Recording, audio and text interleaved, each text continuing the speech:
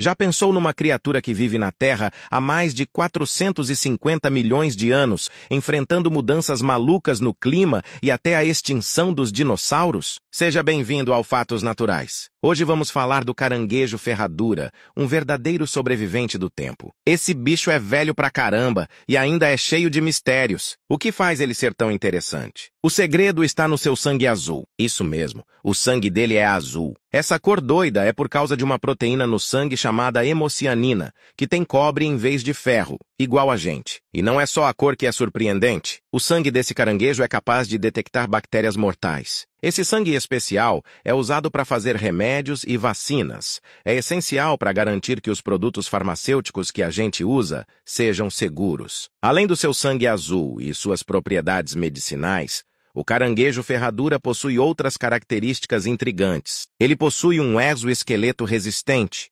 composto por quitina, que o protege de predadores e ajuda a suportar mudanças climáticas. Além disso, eles possuem uma capacidade incrível de regeneração, podendo regenerar membros perdidos ao longo do tempo.